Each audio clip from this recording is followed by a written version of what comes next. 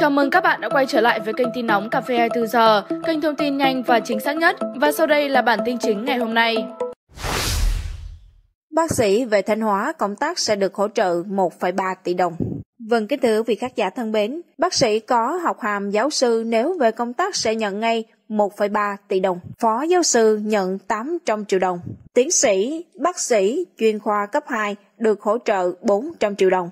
Hội đồng Nhân dân tỉnh Thanh Hóa vừa thông qua nghị quyết về thu hút bác sĩ trình độ cao và bác sĩ làm việc tại các đơn vị y tế công lập trên địa bàn giai đoạn 2022-2025. Đối tượng thu hút là bác sĩ có học hàm giáo sư, phó giáo sư, học vị tiến sĩ, còn đủ 5 năm công tác so với tuổi nghỉ hưu. Bác sĩ chuyên khoa cấp 1, 2, thạc sĩ, y khoa, bác sĩ nội trú, bác sĩ đa khoa, chuyên khoa tốt nghiệp loại giỏi hoặc loại xuất sắc còn đủ 10 năm công tác. Những người này sẽ về làm việc tại các cơ sở y tế công lập ở Thanh Hóa, nhận chi trả một lần từ ngân sách. Theo nghị quyết, ngôi bác sĩ có học hàm, học sĩ, bác sĩ nội trú sẽ được hỗ trợ 300 triệu đồng, thạc sĩ y khoa, bác sĩ chuyên khoa cấp 1 nhận 200 triệu đồng, bác sĩ tốt nghiệp loại xuất sắc, loại giỏi nhận 180 triệu đồng. Ngoài ra, tất cả bác sĩ nêu trên được hỗ trợ hơn 24 tháng lương cơ sở, trả từng tháng nếu được tuyển dụng. Nhóm bác sĩ được thu hút về các bệnh viện quy mô nhỏ hơn như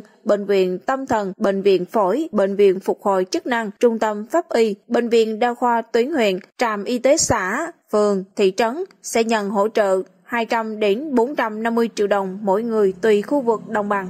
Ven biển hay miền núi, nhóm này cũng nhận hỗ trợ thêm 24 tháng lương cơ sở. Bác sĩ đã được tuyển dụng làm việc tại các cơ sở y tế công lập hoặc tư nhân trước khi chính sách này có hiệu lực. Bác sĩ hệ cử tuyển, chuyên tu, liên thông không thuộc diện thu hút về đề án này. Những người được hưởng tuyển dụng chính sách thu hút phải bồi hoàn gấp hai lần tổng kinh phí được nhận nếu không thực hiện đúng cam kết. Hai năm liên tiếp không hoàn thành nhiệm vụ hoặc bị kỷ luật buộc thôi việc lãnh đạo Thanh Hóa cho biết chính sách thu hút bác sĩ nhằm thực hiện mục tiêu đến năm 2025 đưa y tế trở thành một trong năm trụ cột chiến lược phát triển của tỉnh, phấn đấu trở thành trung tâm y tế chất lượng cao khu vực Bắc Trung Bộ. Theo Cục Thống kê Thanh Hóa, đến năm 2021, toàn tỉnh có hơn 3,7 triệu dân, hiện có hơn 13.000 giường bệnh, cả công lập và dân lập đạt tỷ lệ 11 bác sĩ trên 10.000 dân và 36 giường bệnh trên 10.000 dân.